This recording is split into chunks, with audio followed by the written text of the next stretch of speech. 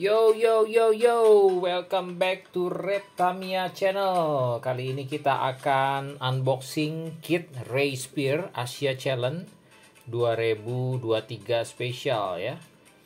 Sebelumnya terima kasih buat teman-teman yang sudah subscribe, like, komen, dan share video-video Red Tamiya. Buat teman-teman yang belum subscribe, bisa klik tombol subscribe di bawah ini atau langganan itu subscribe itu adalah gratis tapi banyak banget manfaatnya buat kalian di antaranya adalah kalian bisa mendapatkan update seputar Tamiya. Informasi-informasinya kalian gak akan ketinggalan.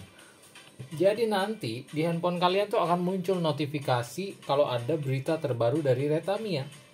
So, buruan sekarang subscribe biar nanti kalian gak nyesel ya kalau ketinggalan info.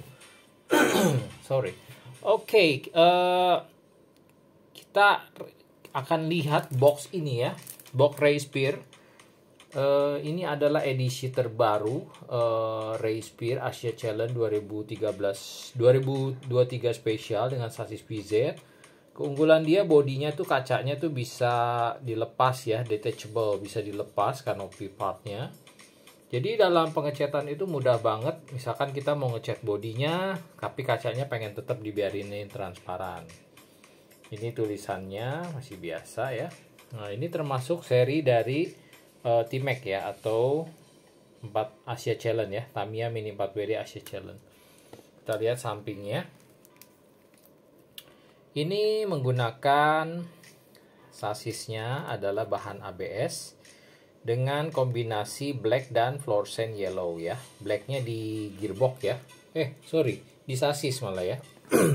Blacknya di sasis dan juga bumper depan belakangnya uh, yellow ya untuk bodinya ini menggunakan ABS resin body dengan warna smoke ya.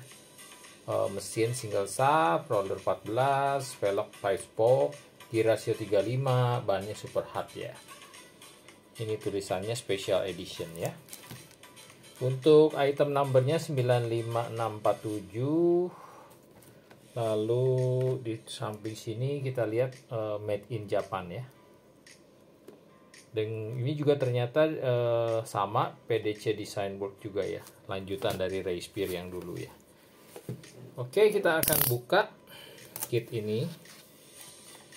Ini sebenarnya kit bawaan dari Jepang itu tidak ada yang diplastikin ya tapi karena distributor di sini yang memplastikinnya.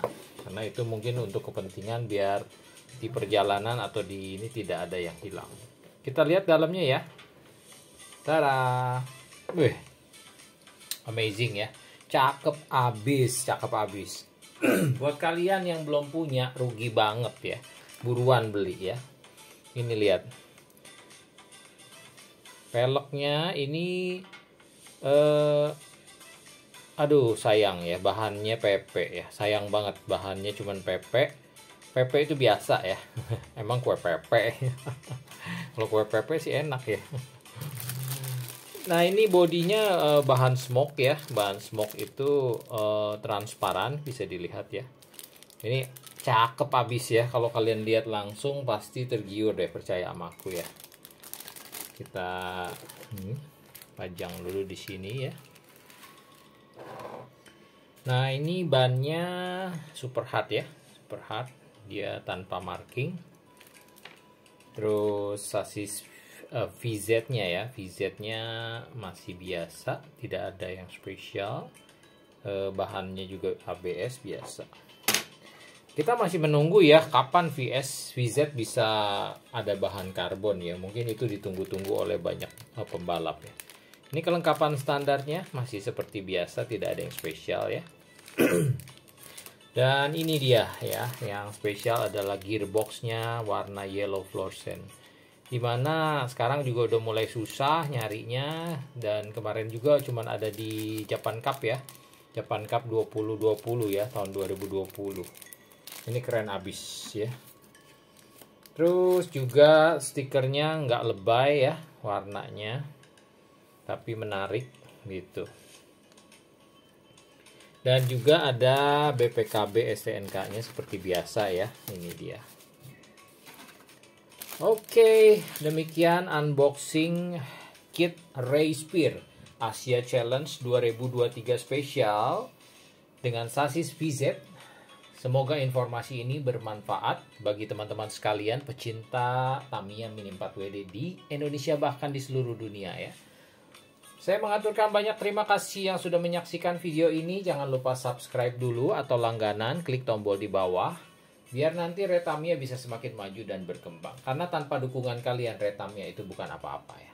Oke, jangan lupa juga mampir ke sosial media Retamia di TikTok. Ada Retamia underscore ya. Dan juga di Instagram ada Retamia Store. Silahkan follow dan di sana banyak portofolio hasil pekerjaan dari Retamia dan juga ada live setiap hari kita. So, pastikan Anda hadir untuk live dan bisa berkonsultasi langsung dengan saya. Terima kasih banyak, sampai jumpa di episode selanjutnya. Salam Tamiya.